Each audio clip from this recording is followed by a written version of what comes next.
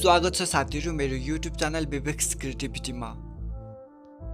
आजको यस भिडियोमा चाहिँ मैले इपिएस टपिक इक्जामको लागि एकदमै महत्त्वपूर्ण मानिने ग्रामर को र असासेसको बारेमा चाहिँ जानकारी दिनेछु। आजको यस भिडियोबाट चाहिँ तपाईँले गो र असास एस चाहिँ कस्तो बेलामा प्रयोग गरिन्छ र तिनीहरू बिचमा चाहिँ कस्तो फरक छ त कस्तो अन्तर छ त भन्ने कुरा सबै कुरा डिटेलमा थाहा पाउन सक्नुहुन्छ।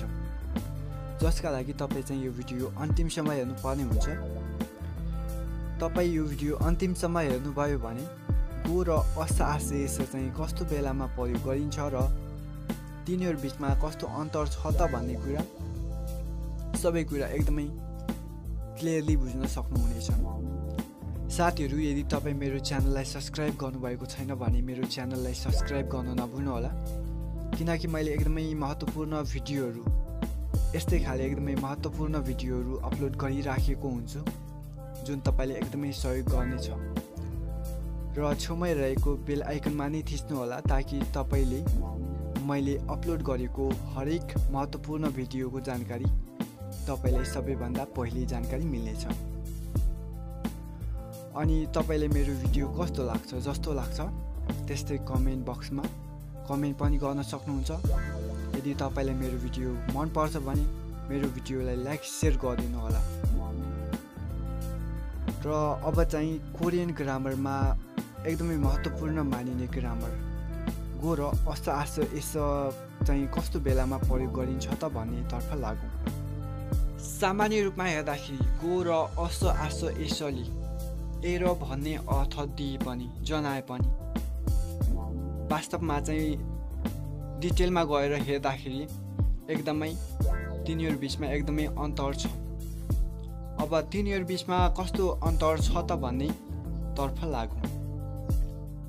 गोको प्रयोग कस्तो बेलामा गरिन्छ त?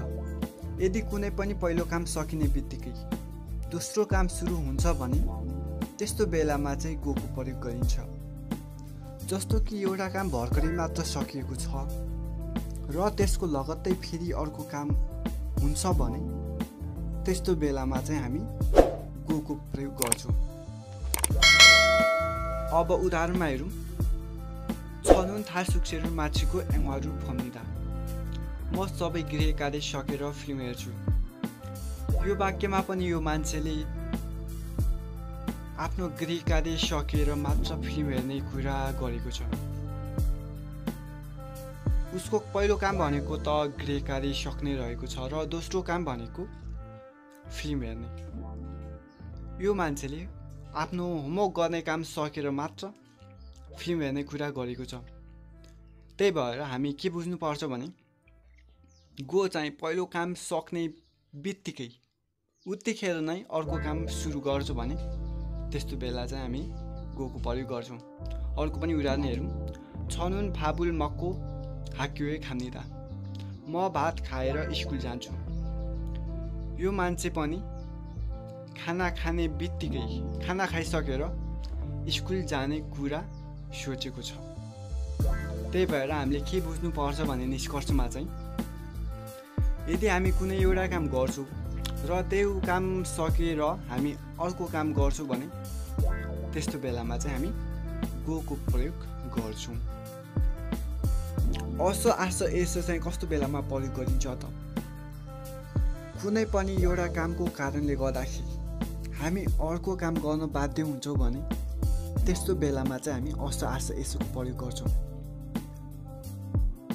जस्तो कि यदि कुनै एउटा कामको कारणले गर्दाखेरि हामीलाई अर्को काममा असर पार्छ भने अर्को काम गर्न हामी बाध्य हुन्छौँ भने त्यस्तो बेलामा चाहिँ हामी अस आस यसोको चाहिँ प्रयोग गर्छौँ।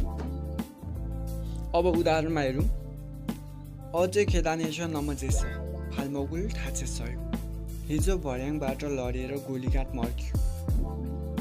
यो वाक्यमा पनि एउटा कामको असरले गर्दाखेरि अर्को काममा प्रभाव पारेको छ। त्यो मान्छे हिजो भर्याङबाट लड्यो र लडेर चाहिँ उसको गोलीघाट चाहिँ खुट्टा चाहिँ मर्क्यो यदि कुनै एउटा कामको कारणले गर्दाखेरि अर्को कामलाई असर पार्छ भने त्यस्तो बेलामा चाहिँ हामी अस आस यसोको प्रयोग गर्छौँ। यो वाक्यमा पनि एउटा कामको असरले गर्दाखेरि नै भर्याङबाट लडेकै कारण गर्दाखेरि नै उसको खुट्टा मर्किएको छ। अर्को उदाहरण पनि हेर्नु। मरिका आफास फेङ्गोने खास टाउको दुखेर अस्पताल गए। यो वाक्यमा पनि टाउको दुखेर नै ऊ अस्पताल जान बाध्य भएको छ।